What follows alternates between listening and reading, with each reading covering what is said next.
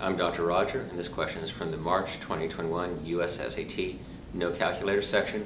College Board is asking us to simplify a polynomial expression.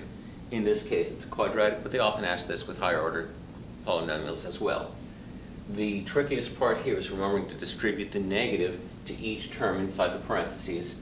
So I'm going to do that as a separate step. I can drop these first parentheses, 2x squared plus 3x minus 2. And then the negative goes to 5x squared minus 5x squared. The negative goes to minus x. Minus negative is plus x. And the negative goes to minus 7 minus negative is plus 7. Next, I collect like terms. 2x squared minus 5x squared is negative 3x squared. 3x plus x is positive 4x. And negative 2 plus 7 is positive 5. Negative 3x squared plus 4x plus 5 matches choice D.